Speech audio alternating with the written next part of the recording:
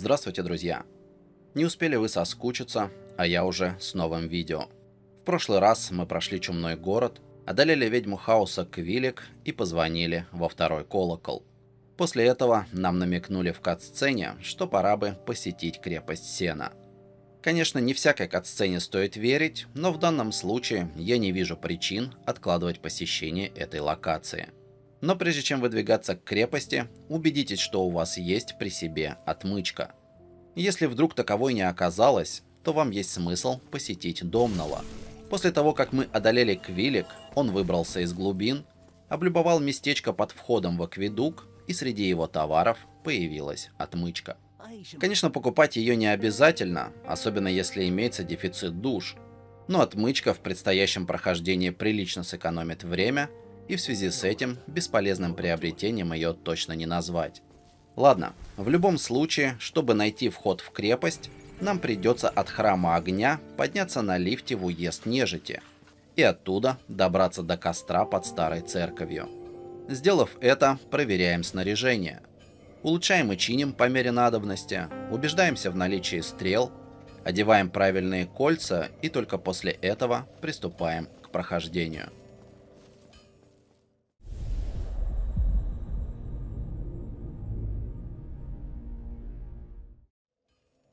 Преодолев мост, замечаем, что Сигмайрис Катарины отсутствует на том месте, где мы его видели ранее. Вероятно, дождавшись открытия ворот, рыцарь решил продолжить свое путешествие. Ладно, пухлый добряк сделал свой ход, и нам отставать от него, конечно же, не стоит. За воротами крепости обращаем внимание на кнопку ловушки. Обходим ее и видим за колоннами вооруженных полулюдей, полузмей. Твари нас тоже видят и приходят в движение. Очень нехорошее для нас движение с явно недобрыми намерениями. В этой ситуации есть смысл отступить назад за кнопку ловушки и занять позицию немного в стороне. Если все пройдет как задумано, то твари сами активируют ловушку и получат урон от стрел, что она выпускает. Также в зависимости от траектории движения змей, ловушку можно активировать самостоятельно. Впрочем, все это тактики для слабаков. И если вы чувствуете, что можете, то просто атакуйте врагов. Кстати, вот из этой дырки летят стрелы при активации ловушки. Теперь, поднявшись по лестнице, забираем за кувшинами душу и отправляемся дальше. Преодолев очередную лестницу, мы оказываемся в большом зале. Тут можно заметить лут, висящий сверху, и сложно не заметить мост, над которым из стороны в сторону раскачиваются огромные топоры-маятники. Бывалого геймера такое, конечно, не смутит, но прежде чем идти вперед, стоит осмотреться. Дело в том, что дальше сверху стоит змей-маг, а на мосту змей-воин. Если двинемся сейчас, то первый, как можно предположить, будет спамить заклинаниями, а второй пойдет на нас в рукопашную. Ни то, ни другое нам не нужно, поэтому давайте рассмотрим способ избавления от них с помощью лука. Для начала пускаем стрелу в воина. Это провоцирует тварь, и она идет в атаку. Однако мозгов у змея нет, поэтому пройти через ловушку ему, конечно же, не удастся. Впрочем, с некоторой вероятностью ему может повести, так что соблюдаем осторожность. В нашем случае враг падает вниз и, к сожалению, остается жив – это значит, что скоро он придет сюда. Но давайте не будем терять время и начнем стрелять в мага. Как можно заметить, тут важен тайминг, так как топоры будут знатно мешать процессу. Также здесь не стоит обращать внимание на заклинания мага и малый урон от наших стрел. Заклинания до сюда не долетают, а тварь в конечном итоге убьют не стрелы. Услышав топот слева, отвлекаемся от стрельбы и встречаем воина – разбиваем ему лицо, после чего возвращаемся к прежнему занятию. Вот, собственно, и то, о чем я говорил. Маг умирает не от стрел, а от падения с большой высоты. Избавившись от врагов, можно приступать к преодолению моста. На первый взгляд ничего сложного в этом нет, выбирая время да проходи. Но дьявол, как всегда, кроется в деталях. И тут такой деталью является определение дистанции до топора – не буду ходить вокруг да около и сразу скажу. Не верьте своим глазам. Всегда проверяйте местоположение взглядом со стороны. Тем более, что повернуть лишний раз камеру не составляет большого труда. Посмотрев под этим углом, можно заметить, что прямо под топором на мосту есть характерное повреждение. Дальше такие тоже встречаются и могут послужить подсказками. В общем, проявляем внимательность и проходим на другую сторону. Теперь давайте посмотрим, как проходится этот мост без предварительной игры в снайпера. Также идем избегая топоров и останавливаемся под мостом. Тут нас не достанут заклинания, и мы сможем сосредоточиться на сражении с воином. Если у вас в руках тяжелое оружие, способное пошатнуть врага, то проблем здесь не будет. Но если нет, то стоит задуматься об использовании щита, ибо на мосту особо не покувыркаешься. Одолев змея, проходим дальше, сворачиваем влево и, поднявшись по лестнице, оказываемся перед очередным мостом. Здесь также имеются топоры, а за ними наш маг. Как видно, добраться до него отсюда будет крайне сложно, поэтому я, пожалуй, вернусь и все-таки, используя лук, скину тварь вниз. С этой же позиции наверняка и маги найдут чем зарядить в змеюку. Избавившись от неудобного противника, возвращаемся к мосту и, применяя на практике советы, полученные ранее, проходим ловушки. Теперь перед нами комната с сундуком. Однако смотреть мы в первую очередь должны не на сундук, а на кнопку, что расположилась сразу за входом. Определившись, с какой стороны обойти нажимную плиту, забираем из сундука парочку больших осколков титанита и идем дальше. Узкий проход с лестницей выводит нас на очередной мост – Тут не видно топоров, но зато видно змея справа внизу. Тварь, судя по всему, дремлет, и до нас ей никакого дела нет. Нам, по идее, он тоже как бы не нужен. Но тут есть один интересный момент. Если спуститься к змею, грубо разбудить его и вынудить атаковать э, стену, то стена сломается, и нам откроется доселе недоступное помещение. Впрочем, это довольно рискованно, поэтому мы так делать не будем. Стену эту мы, конечно, сломаем, но позже и другим способом. Пока что идем прямо по мосту и видим следующую картину.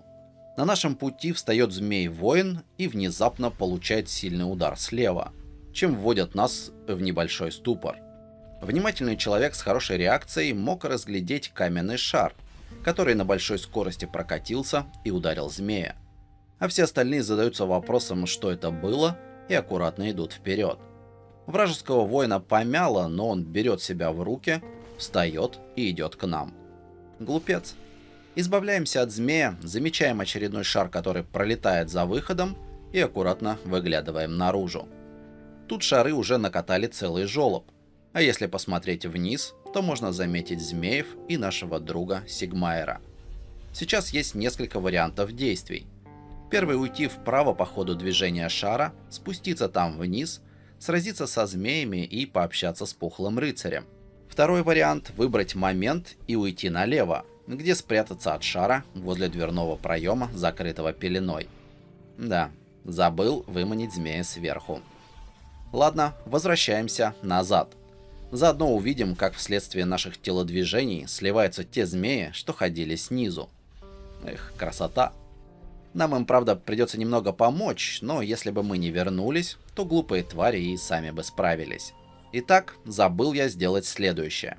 Прежде чем бежать влево, стоит выцелить змея сверху и пустить в него стрелу.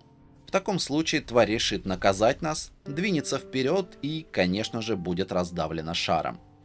Э, дважды. Вот теперь можно идти к проему с пеленой, а после этого подняться к помещению, на входе в которое стоял маг. Здесь у нас оказывается небольшая комната, в которой стоит сундук с кольцом стальной защиты. Это украшение увеличивает физическую защиту на 50 единиц. И в нашем случае его есть смысл незамедлительно одеть, вместо кольца с синим камнем. Замечательно. Я бы даже сказал, отлично. Мы стали на порядок прочнее, причем по сути ничем не жертвуя. Ладно, теперь делаем следующее – Выжидаем удобный момент, выходим из комнаты и слева внизу взглядом находим предмет. После этого аккуратно спрыгиваем к нему и получаем в свое распоряжение оружие шоттл. Хотя полагаю, что тут пропущен мягкий знак, и оружие все-таки стоит называть шотель. Ладно, это не важно. Важно, что данное оружие усиленными атаками способно наносить урон сквозь щиты и игнорировать часть защиты противника.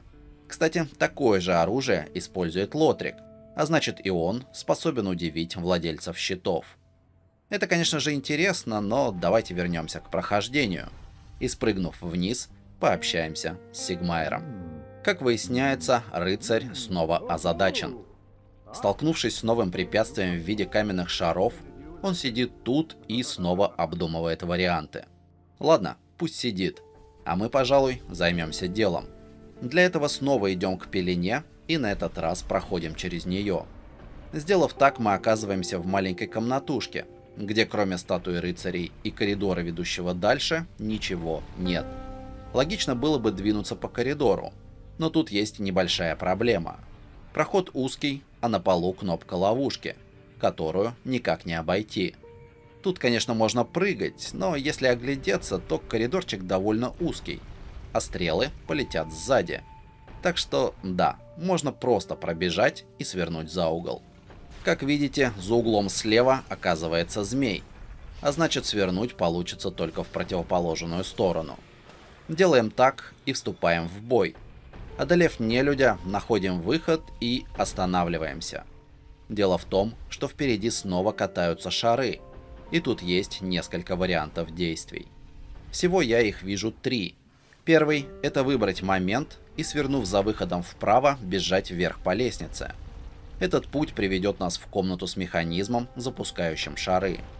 Данный вариант действий подойдет тем, кто хочет побыстрее пройти крепость и не готов тратить время на доскональное исследование локации. В общем, нам такое точно не нужно. Поэтому возвращаемся на исходную. Второй вариант начинается как первый, но добежав почти до конца лестницы, мы сворачиваем влево и в падении атакуем змея-мага. Таким образом, мы оказываемся на платформе, с которой можно пойти в двух направлениях. Вперед или, собственно, назад. А также тут имеется душа рыцаря. Мы, конечно, проверим все ходы-выходы, но для начала давайте пойдем под лестницу. Эта дорога выведет нас в комнату, где на теле лежит комплект одежды черного колдуна и волшебство бесшумность. О пользе данных предметов пусть рассуждают маги, а мы продолжаем двигаться дальше. Для этого поднимаемся по лестнице и, открыв дверь, выходим на мост. Отсюда можно безопасно попасть в комнату с механизмом, но давайте посмотрим, что интересного есть в следующем помещении. Как выясняется, интересного тут мало. Пустая комната и странный лифт, которым отсюда не получится воспользоваться без потери здоровья. В общем, запоминаем это место, идем назад и, получается, альтернативным путем снова оказываемся в комнате, откуда запускаются шары. Что же, давайте еще раз вернемся на исходную и посмотрим на третий вариант действий. На этот раз мы просто побежим вслед за шаром. Преодолев лестницы, сворачиваем в проход слева и останавливаемся. Теперь нам нужно ждать. Ждать, пока камни не заполнят собой отверстие в полу и не пробьют стену, за которой окажется предмет. Тут не стоит спешить, ждем, когда прокатится очередной шар, и только после этого забираем весьма ценное кольцо с золотым змеем. Его полезность сложно переоценить, так как оно добавляет 200 единиц к параметру поиск предметов, что в свою очередь сильно упрощает задачи, связанные с фармом. В общем, прячем его до поры до времени в кармашек и идем дальше. Теперь возвращаемся в проход и видим за ним комнату с сундуком. Кроме сундука, здесь имеется куча статуй и знакомый окровавленный лифт. Что же делать, как же быть? Казалось бы, чего тут думать. Открывай уже сундук, да забирай ценности. Но дело в том, что это фальшивка. На самом деле перед нами хищная тварь, мимик. Небольшим намеком на это может стать странное положение сундука – но я думаю, что никто не обратил на это внимания, и все, кто не был предупрежден заранее, с вероятностью 100% всунули свою голову в пасть монстру. Итак, что же делать с этой тварью? Если хватает урона, то мимика можно просто избить, пока он принимает истинную форму. Но вот если урона маловато, то даже не знаю. Может выманить его в коридор, где катаются шары? В любом случае, тварь желательно убить ведь с нее выпадает копье, улучшенное по пути молнии. Собственно, тут все. Теперь встаем на лифт, разворачиваемся на 180 градусов и сходим на первой же остановке. Если так не сделать, то лифт продолжит движение и насадит нас на шипы. Ух, жуть. Отогнав картину пронзенного шипами тела, осматриваемся и понимаем, что в этом помещении мы уже были. Теперь знакомой дорогой идем в комнату с механизмом и поворачиваем его в ту сторону, откуда пришли. Если посмотреть в том направлении, то можно заметить, как кто-то получает урон, но не погибает. Что же, отправляем туда контрольный шар, после чего снова поворачиваем механизм и идем вниз смотреть, что там произошло. Как выясняется, именно в этой стороне находился спящий змей и стена, которую можно сломать. Только вот нужно было отправить сюда больше шаров, так как змей выжил и, заметив нас, э, куда-то свалил. Ну и ладно, не бегать же за ним. Вместо этого давайте проверим, что есть интересного за стеной. А тут у нас мост, рядом с которым висят железные клетки. В одной такой оказывается заперт человек в робе и остроконечной шляпе. Несмотря на чудаковатый вид, он оказывается вполне адекватным. Старика зовут Логан, и он просит нас его освободить. О, змеюка вернулась. Избавляемся от нее, и если имеется отмычка, открываем дверь клетки. Теперь снова говорим с Логаном и, выслушав слова благодарности, замечаем в другой клетке какой-то лут. Как выясняется, это светилась душа героя. Собравшись было уходить, также замечаем что-то внизу. А там у нас титанитовый демон, да еще и не один. Давайте-ка к ним наведаемся, а то чего они там скучают. С такими мыслями покидаем клетку и уходим. Или не уходим, если можем наносить урон на большом расстоянии. В таком случае занимаем клетку посредине моста, после чего начинаем разряжаться в демона. Стрел, конечно, уйдет прилично, но в итоге тварь будет повержена и оставит на месте смерти кусок титанита, за которым э, все равно придется идти вниз. Со вторым демоном, если что, можно провернуть то же самое. Главное, чтобы стрел хватило. В общем, оставим эти заботы ловкачам, а сами, соблюдая осторожность, пойдем наверх.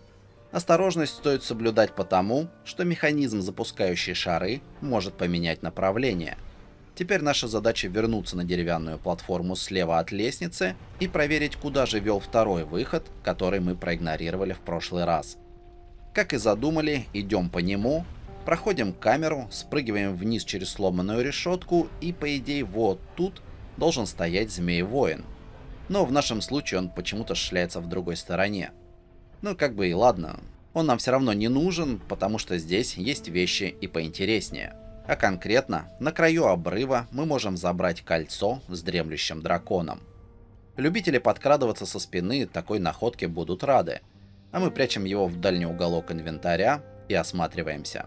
Сзади остались две как бы ямы. На дне одной из них можно наблюдать лут и хвост титанитового демона. Естественно, сейчас возникает вопрос, как туда спуститься.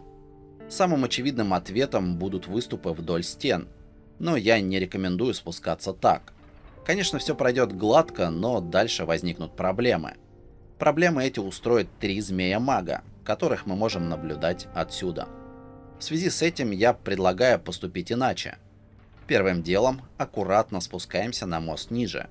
Аккуратно потому, что если упасть чуть дальше, то топор сделает свое грязное дело, и мы полетим прощупывать дно. Теперь проходим вперед Встаем над змеями и кувырком сигаем на одного из них. Конечно же, не забывая при этом прожать удар. Если все пройдет как задумано, то мы с минимальным уроном окажемся внизу, а одна из тварей будет мертва. Конечно, не стоит забывать про оставшихся, поэтому незамедлительно приступаем к их уничтожению.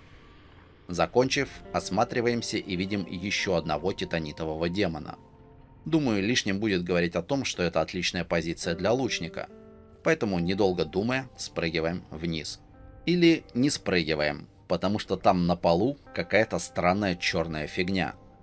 Ну ладно, сразу скажу, что в целом эта жижа безопасна, и единственный ее эффект – замедление.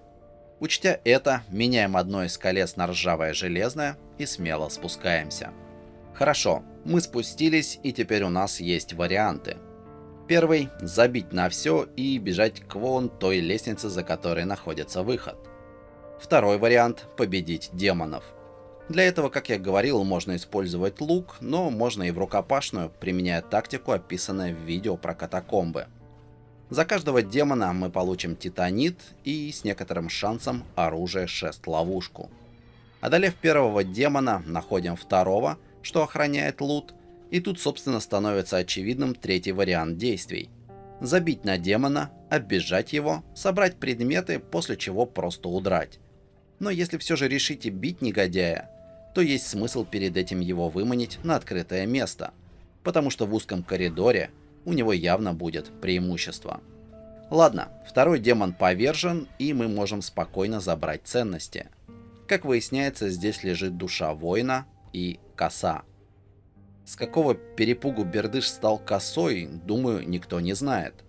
Несмотря на название, само оружие по сути является облегченной версией алебарды, что делает Бердыш чуть более универсальным оружием. Ну, ладно, хватит об этой палке, давайте посмотрим, что тут еще припрятано. Для этого возвращаемся на то место, куда мы спрыгнули, и слева находим проход – за ним окажется еще один большой зал с двумя демонами, которых мы видели сверху. Кроме демонов там ничего нет, и по-хорошему сейчас их нужно оставить в покое. Тем более, что выманить врагов по одному тут не получится. А значит, биться придется против двух одновременно. Если кто-то подумал, что раз с предыдущими справились, то и этих побьем, спешу вас огорчить. Данные образчики на два порядка сильнее тех, что мы одолели – и бой с ними обычно заканчивается э, как-то так.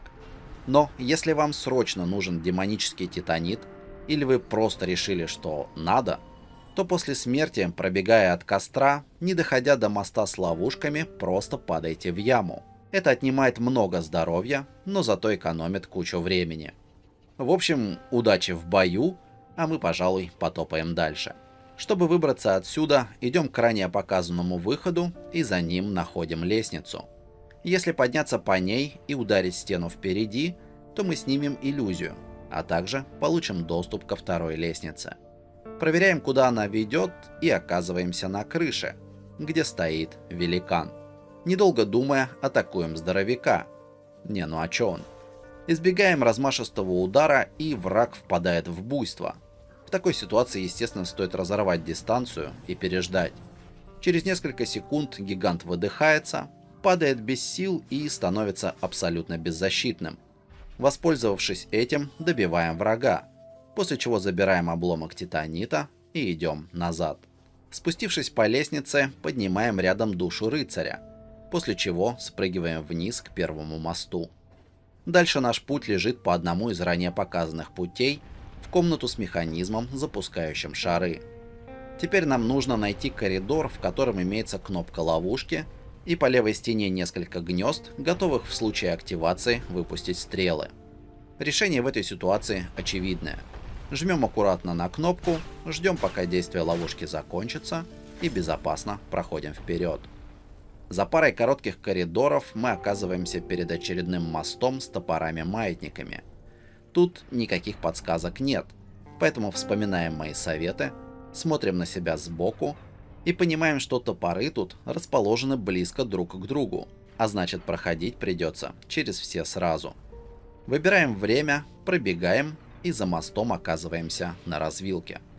Справа в коридоре стоит змей-воин, слева лестница, на которой стоит змей-маг, и еще куда-то можно пойти мимо лестницы. Собственно, давайте проверим, что там – а там за поворотом оказывается еще один змей, который охраняет два больших осколка титанита. Избив врага и присвоив добро, идем назад.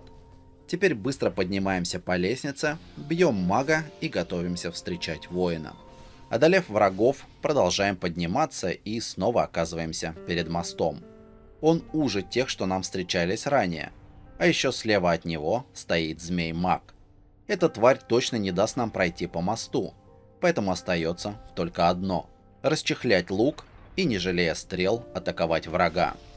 Застрелив змея или скинув его в пропасть, продолжаем движение. На этот раз топоры расположены парами, но между первой и второй промежуток небольшой, поэтому стоит проявить осторожность. Преодолев мост, замечаем на полу две кнопки, белую пелену справа и проход влево. Последний ведет к позиции мага, а значит нам не интересен. С учетом этого, прижимаясь к стене, идем в другую сторону и проходим через завесу.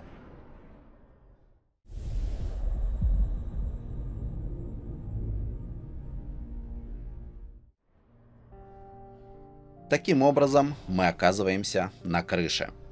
Вдохнув свежего воздуха, замечаем впереди великана, что без устали куда-то опускает шары. Теперь становится ясно, как они попадают внутрь крепости. Если пройти отсюда немного вперед и посмотреть вправо-вверх, то мы сможем наблюдать второго великана, который готовится сделать что-то нехорошее. М да.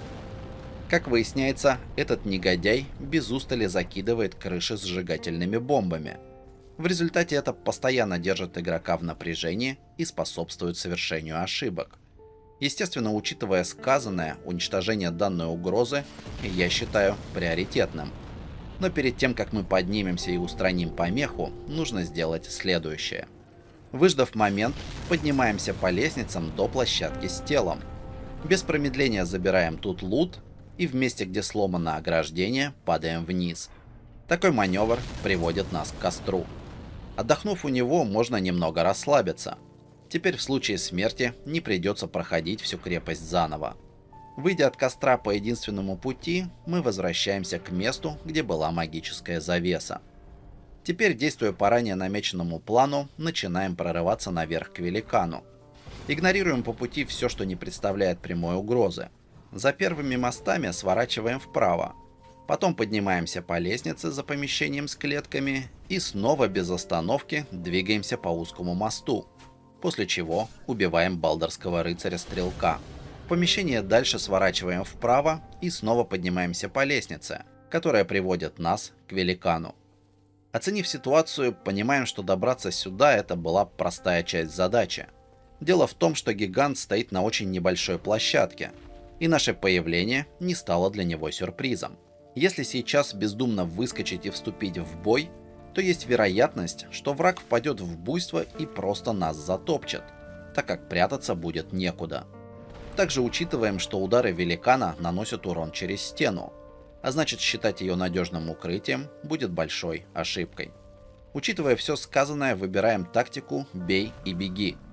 Следуя ей, ждем пока великан успокоится, после чего выбегаем, наносим пару ударов и возвращаемся на лестницу. Таким образом, даже если тварь впадет в буйство, мы будем уже на полпути к безопасному месту. А если не впадет, то все равно через несколько забегов будет повержена. Избавившись от великана, можно выдохнуть и спокойно исследовать крышу крепости. Метатель бомб, если что, не появится снова, если мы случайно умрем или отдохнем у костра – Теперь идем вниз и за лестницей видим вход на арену с боссом. Туда нам пока не нужно, поэтому давайте заглянем в комнату, что расположена в башне за мостом справа. Здесь на данный момент пусто. Возвращаемся назад, идем по мостам и вот в этом месте можно сократить путь, спрыгнув вниз. Но мы этого делать не будем, идем дальше, любуемся видом, после чего, пройдя через помещение с клетками, замечаем рыцаря впереди – по-хорошему его не стоит беспокоить. На то есть две причины. Во-первых, он может больно ударить, во-вторых, ничего интересного он не охраняет. Учитывая это, сворачиваем влево и доходим до перекрестка. Мост за ним будет сломан, а мост справа просто обрывается. Это место неплохая позиция для стрельбы по великану, который занят своими шарами. А, Как-то странно прозвучало, но ладно. Также отсюда можно спрыгнуть вниз и атаковать здоровяка в ближнем бою. Но в таком случае придется довольно долго возвращаться, так как единственный выход оттуда – это спускаться через отверстие. В общем, нам такое не надо, поэтому обращаем внимание на сломанный мост, разбегаемся по его левой части, после чего прыгаем. Если все сделано правильно, то мы с легкостью преодолеваем обрыв и получаем доступ в башню, расположенную дальше. Как выясняется, в ней обитает еще один вялый воин. Однако, в отличие от своего собрата по духу из храма огня, этот оказывает услуги торговца, и среди его товаров есть весьма интересные вещи. В ассортименте воина имеются расходники, титанит, оружие и боеприпасы. Но отдельное внимание стоит уделить броне и украшениям. Всего торговец продает три комплекта доспехов, каждый из которых относится к классу средних. Самым дорогим и самым интересным сетом здесь будет комплект доспехов Катаринского рыцаря. Во-первых, он выглядит забавно, и во-вторых, он выглядит забавно. Но если серьезно, то после улучшения защищает он тоже неплохо, хотя и немного тяжеловат. Ладно, бог с ней с броней, смотрим кольца. Всего их тут два. Одно увеличивает защиту от молнии, второе от магии. Постоянно такие, конечно, носить смысла нет, но в некоторых случаях они могут очень даже хорошо послужить. В общем, кольца по-любому забираем. Правда, сейчас душ хватает только на одно, но ничего. Вернемся, когда разбогатеем. Закончив общаться с торговцем, осматриваемся и замечаем лестницу вниз – Спустившись по ней, мы попадаем к мосту, на котором стоит змей-маг и что-то лежит. Змеи, естественно, бьем, а что-то присваиваем. Этим чем-то оказывается ключ от клетки.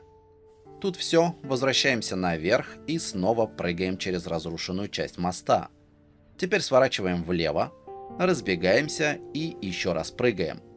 В результате мы оказываемся на стене. Отсюда можно пойти бить великана, но мы тут не для этого. Если сейчас развернуться и упасть еще ниже, то появится возможность присвоить с тела рядом меткий арбалет. Сюда также есть другой путь, но при нашем варианте прохождения он немного неудобен. Забрав оружие, нам нужно найти спуск, за которым стоит рыцарь. Недолго думая, атакуем его в падении и, игнорируя лестницу справа, проходим дальше. Здесь сворачиваем за угол, бьем еще одного рыцаря и из сундука вынимаем кольцо, повышающее защиту от огня. Если подумать, то у нас есть доступ к кольцам с защитой от всех типов урона. Главное теперь не забывать про них и вовремя использовать. Ну, ладно, это уж как получится, а пока что возвращаемся назад, поднимаемся по лестнице и попадаем к выходу на крышу. Сейчас по надобности посещаем костер после чего поднимаемся до развилки, на которой лежит тело с двумя большими осколками титанита. Присвоив ресурсы, сворачиваем вправо и идем вдоль стены. В какой-то момент на нашем пути встает крепкий рыцарь с булавой и башенным щитом. Такого врага мы уже встречали и кое-что про них помним. Но если вдруг забыли, то все сводится к двум вещам.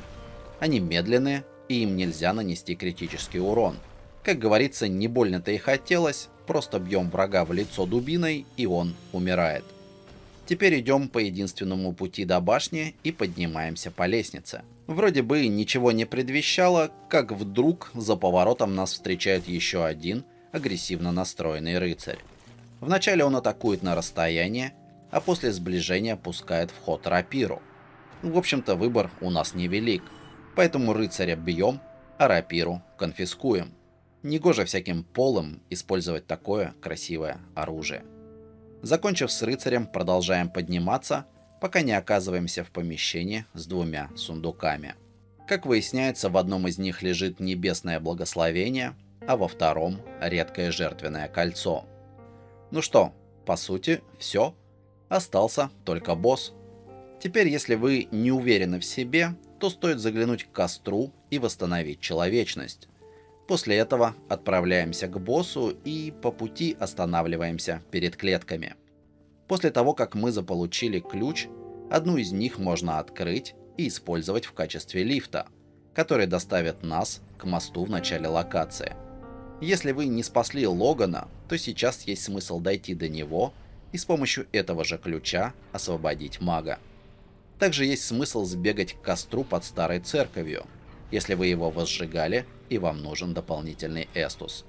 В нашем же случае все отлично, поэтому мы заходим обратно в лифт, возвращаемся наверх и идем ко входу на арену. Теперь, если мы в человеческой форме, то в башне за мостом будет знак призыва нашего нового знакомого. Призываем его или игнорируем, после чего заходим на арену. За пеленой нас встречает железный голем. Размером он чуть крупнее великанов и, как следует из названия, имеет железное тело. Что касается тактики, то начнем с лучников. Как видите, голем имеет дистанционные атаки. И как видите, они не смертельны даже для персонажей в легкой броне.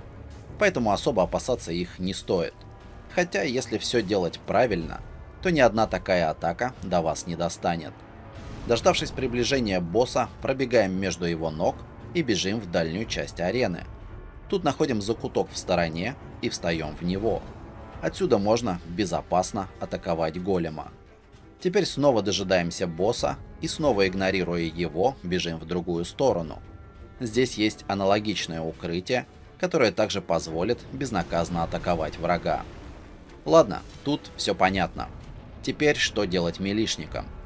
Для начала забываем про использование выделения и дожидаемся босса на середине арены. Это важно, так как вероятность смерти от падения здесь ничуть не ниже, чем от ударов голема. Теперь дожидаемся анимации удара, ныряем врагу под ноги и начинаем атаковать одну из них. Лучше всего подойдет правая, так как босс во время атаки чаще оставляет ее сзади.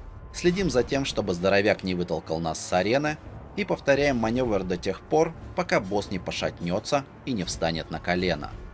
После этого он будет какое-то время бездействовать, что позволит безнаказанно его добить. Ну или не позволит, если у вас мало урона. Но в любом случае, тактика от этого не меняется. За победу над Железным Големом мы получаем его душу в качестве предмета, человечность и 40 тысяч душ. Также на арене появляется светящийся круг света. Если сейчас его пощупать, то нас отправит в другую локацию, и какое-то время мы вернуться не сможем – Поэтому прежде чем так поступить, дважды подумайте. В особенности это касается магов и нас.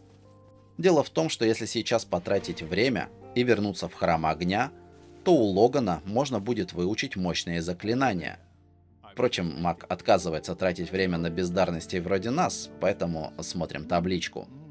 Ладно, маг нас прокатил, но, собственно, не за заклинаниями мы сюда шли, а шли мы за тяжелой броней которую после убийства Железного Голема можно приобрести у Домнала. Всего на покупку понадобится 22 тысячи душ, так что награда за босса тут придется как нельзя кстати. Ну вот, теперь наш персонаж приобрел изначально задуманную форму. Дубина, вагон выносливости и тяжелая броня. Хотя без кольца Хавала мы пока что эффективно использовать ее не можем, но ладно – это временная неприятность, как-нибудь переживем. В храме вроде больше ничего не поменялось, так что можно возвращаться в крепость, и по пути давайте потратим оставшиеся души на покупку второго кольца у дряблого воина. Иди ко мне, моя прелесть. Э, вот, теперь со спокойной душой можно отправляться в следующую локацию. Стоп, стоп, стоп, стоп. Какая еще локация? Она будет в другой раз. А сейчас всем нужно поставить под этим видео лайк, написать комментарий и после этого с моими наилучшими пожеланиями идти по своим делам.